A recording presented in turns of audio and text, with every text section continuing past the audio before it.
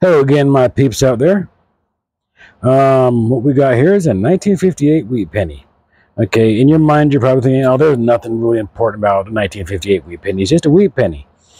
It's also a key date penny because in 1958 was the last year wheat pennies were ever made. And the following years past that was when they did the Lincoln Memorial, then past that is the, the new ugly shield pennies.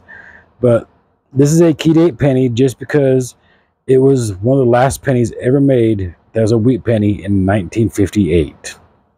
I mean, uh, it's in really, really good condition, as, as, as you can see.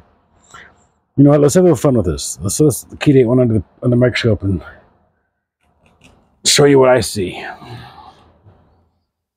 I mean, he, like I said, he's in really, really good condition. He's in 1958.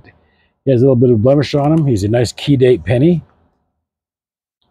And then also on the back of it, I mean, he looks really, really good for a key date penny. But as I said before, why what makes him a key date is last year the wheat penny was ever made.